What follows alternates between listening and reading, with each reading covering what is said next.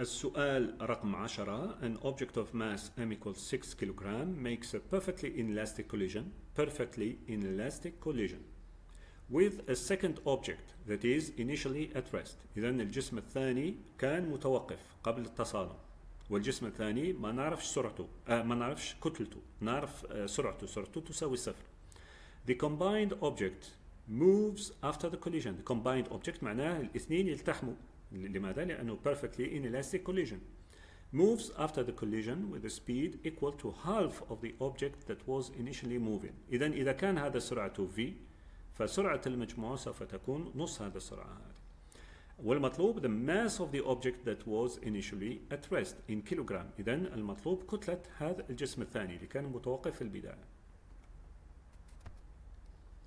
إذا الرسمة تاعي قبل التصادم كانت على هذا الشكل. إذا الجسم الأول كتلته small m هنا كتبت الكتل مختلفة. إذا في البداية أنا أجهل الكتل. إذا نكتب أنه عندي كتلتين مختلفتين وبعد ذلك نحل التمرين ونشوف كيف ممكن نحسب الكتل. إذا الجسم الأول m يساوي 6 كيلوغرام وعنده سرعة إذا بدائية v والجسم الثاني في السكون إذا كتلته capital M وسرعته capital V يساوي صفر كان في السكون. هذه كان before وبعد التصادم الاثنين إذا التحموا شايفين الجسم الصغير التصق مع الجسم الكبير إذا عندي كتلة إجمالية m زائد M وسرعة نهائية vf after okay؟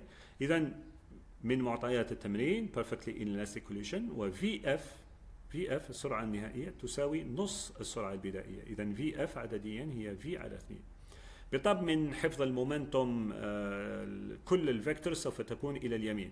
okay؟ كل ال momenta سوف تكون إلى اليمين وبالتالي كل ال vectors لهذا الشكل هذا سوف تكون إلى اليمين. ليس هناك أي vector يكون على اليسار. اذا هذه النقطة هذه ممكن تراجعوا الدرس وتتأكدوا منها. اذا the conservation of momentum with all vectors to the right هي اذا اذا initial momentum وش هو؟ هو mv زائد M مضروب بصفر وال final momentum هو m زائد M الكتلة الإجمالية مضروبة بسرعة vf اذا لدي mv على اليسار.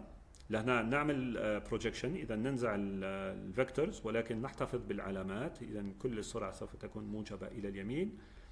اذا على اليسار يبقى لي mv هذا بالطبع يساوي صفر. اذا على اليسار mv وعلى اليمين إذا الكتلة الإجمالية مضروبة ب V F و V F نستبدله ب V على 2 إذا هنا استبدلته ب V على 2 ونلاحظ أنه على اليمين وعلى اليسار ال factor المشترك V نعمل له simplification ويبقى لي أنه M هذا مضروب بهذا 2 هذا. إذا 2 M على اليسار يساوي مجموع M زائد M إذا 2 M على اليسار يساوي مجموع M زائد capital M وبالتالي capital M هو 2 M ناقص هذا ال M هذا عندما يروح إلى اليسار.